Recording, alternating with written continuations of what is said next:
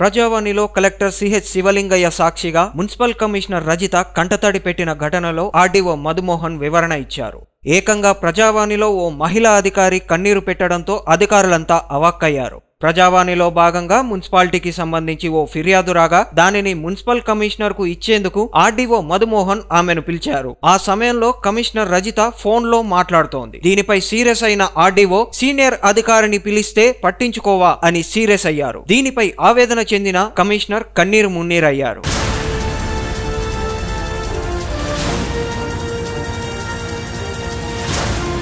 ప్రతిసారి తనను ఆర్డీఓ చులకనగా చూస్తున్నారని అటెండర్ కంటే హీనంగా మాట్లాడుతున్నారని కలెక్టర్కు విన్నవించుకున్నారు.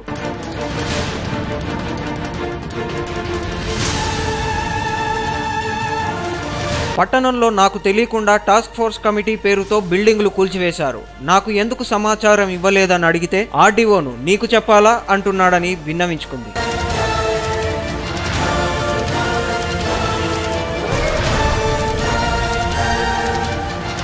ప్రజావాణిలో కలెక్టర్ శివలింగయ్య ఇలాంటివి తగవని సూచించడంతో వివాదం సద్దుమణిగింది.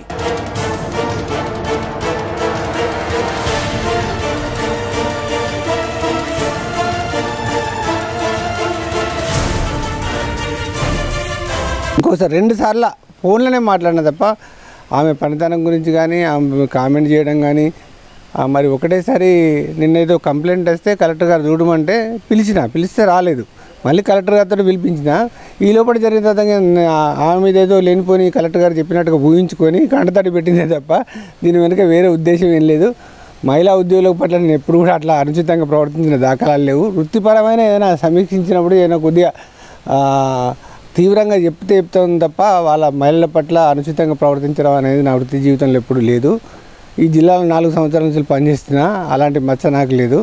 ఆమె ఊరికే ఊహించుకొని చెప్పింది తప్ప నా ప్రమేయం ఏం లేదు. కేవలం రెండే రెండు సార్లు ఫోన్లో మాట్లాడిన అంతే ఆమె ఊహించుకొని నా గురించి నేను చిన్నగా మాట్లాడుతున్న చిన్నగా మాట్లాడే ఆమెతో నాకు అసలు నా అనుభవంలో కానీ లేకపోతే చదువులో కానీ సంస్కారాలను హోదాలో కూడా ఏమో కూడా నాకు నా- నా సరిపాటి కాదు అది ఆమె.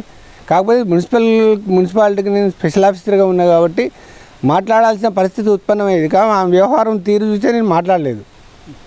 సో ఈ విషయాలు రెండే రెండు సార్లు ఫోన్లో మాట్లాడినా అదే ఆమె ఊహించుకొని నన్ను ఆర్డీఓ గారు చిన్న చూపు చూస్తున్నారు అటెండర్ కంటే అధ్వానంగా చూస్తున్నాను ఆమె ఆమెకు ఆమె హ్యూమిలియేషన్కి గురై మరి కంటతడి పెట్టింది తప్ప దీని వెనక వేరే కారణాలు ఏమి లేదు. మున్సిపల్ వాళ్ళకు సంబంధం లేకుండా ఒక స్వతంత్ర ప్రతిపత్తి గల డిటిఎఫ్ను కాన్స్టిట్యూట్ చేశారు.